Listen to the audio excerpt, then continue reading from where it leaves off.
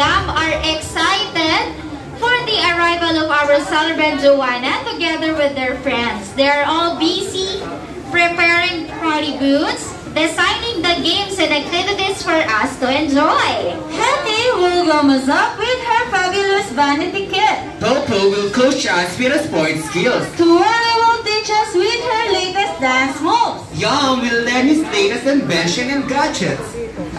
And Jollibee will prepare for us the best food in town. Experience for yourself the happiest place to be. Jollytown Tea Park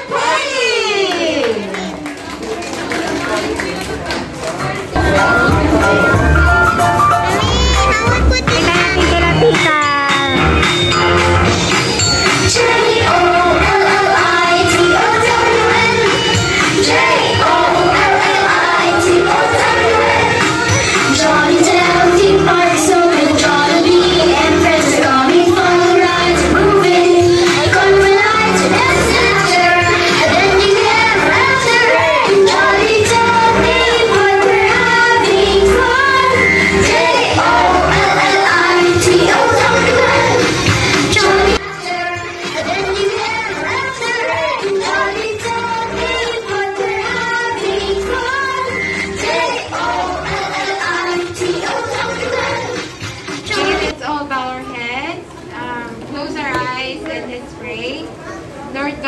Come before you tonight, thanking you for all the goodness that you have done.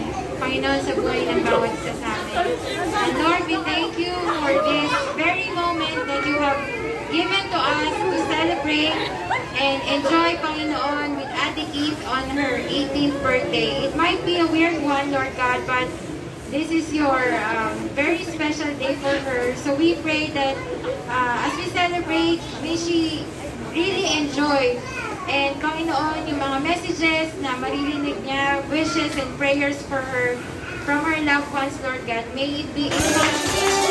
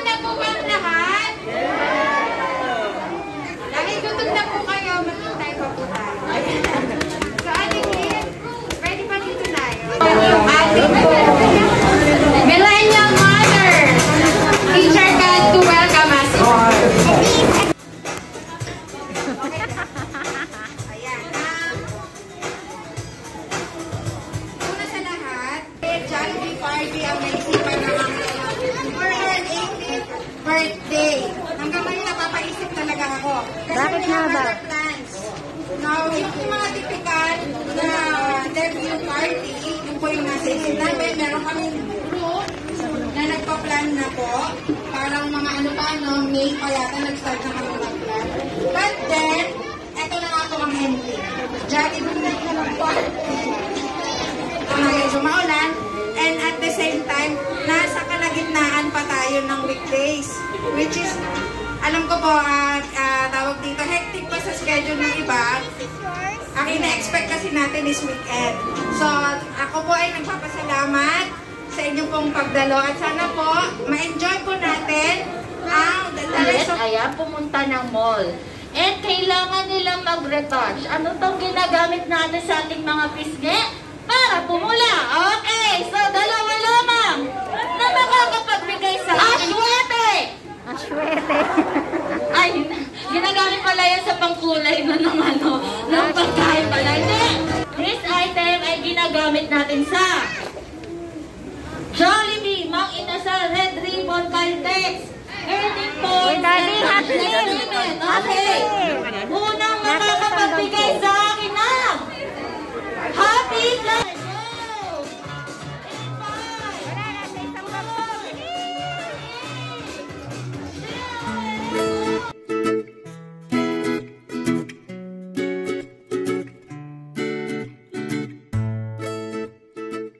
Kailangan ko security dito, baga ako pinag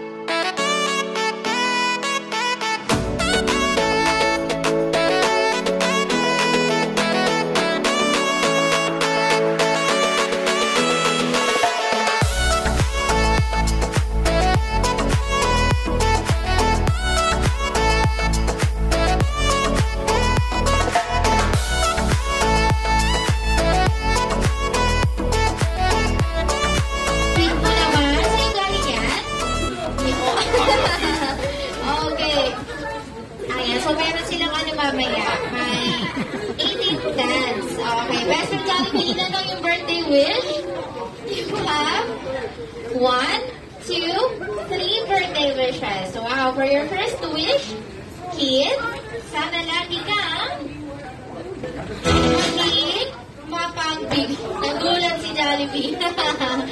okay, ano yung ng Jollibee? Sana lagi siyang maging mapagbigay or generous. Wow, palakpakan natin si best friend. And for your second wish, kid, sana lagi kang maging madasalin. At syempre may takot sa Diyos. Wow! okay, for your last wish, kid, sana lagi kang maging matalino. At always be happy like our Jolly friends Bobo, Wendy, Twirly, and Mr. Yam, and of course, best friend, Jolly Z.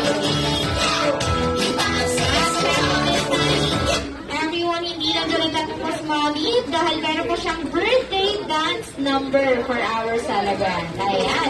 Okay, so this time, let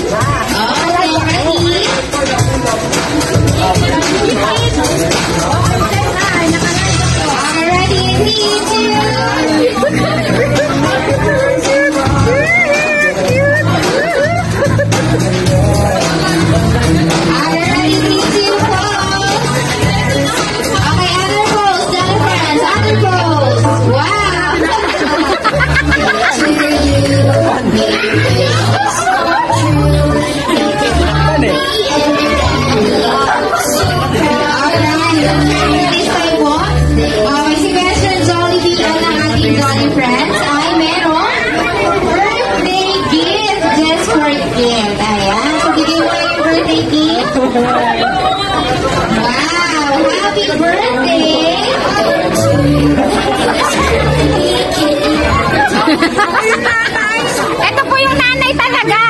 Ito po yung nanay. Birthday gift reveal daw po. Okay, so let's see. Bakit si Mama Grace ang nandyan? Jollibee.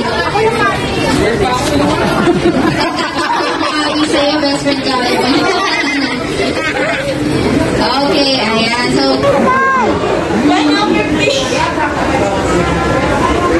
Um, tanong po, and um, to all the people na mga kaibigan Kit as she grows older, swerte kayo.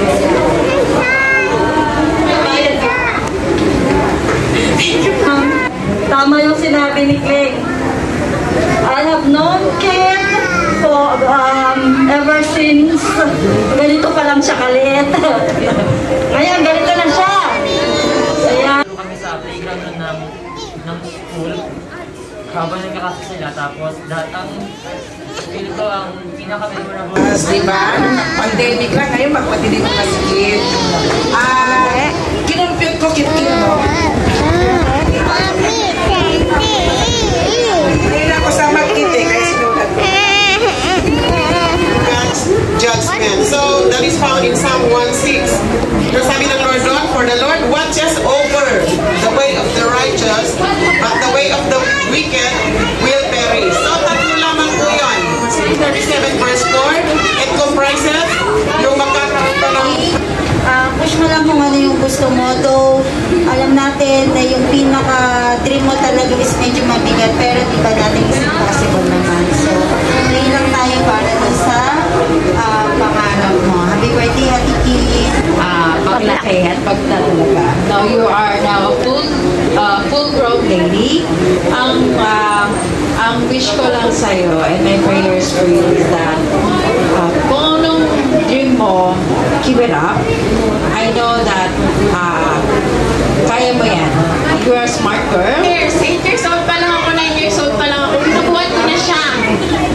Parang kasi laki ko lang si Erin, tapos siya baby pa. Gusto, gusto ko talaga siya binubuhat kasi ang cute-cute niya. Nung baby siya, lahat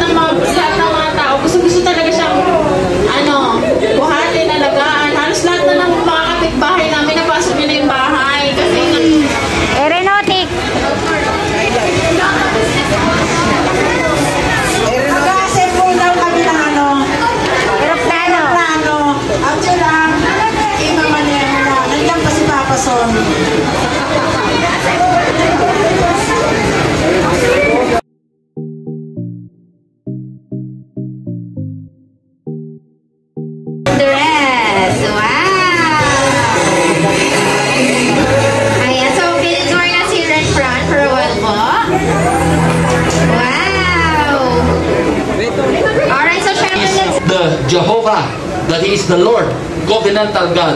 Ano man ang pangako niya, gagawin niya sa iyo. Yan ang ating Ama. Yan yung Ama mo, yun yung aking Ama. Na siyang naging dahilan kung bakit ka isinilang. Siya ang nagpasya na may panganak ka para makita mong kagandahan ng kanyang nilikha para makilala mo that He is powerful God. At sa iyong mga pangarap, ipapakilala niya that He is your Jehovah. Meron siyang pangako sa iyo, tutuparin ng Panginoon. So yun ang aking sasabihin. Maging seryoso ka sa buhay kristyano mo. Huwag mong lalaroin ang buhay kristyano mo. Kung merong pinakadakila na may pamana sa iyo ng lolo, lola, mga magulang mo, yung spiritual life mo, ayusin mo.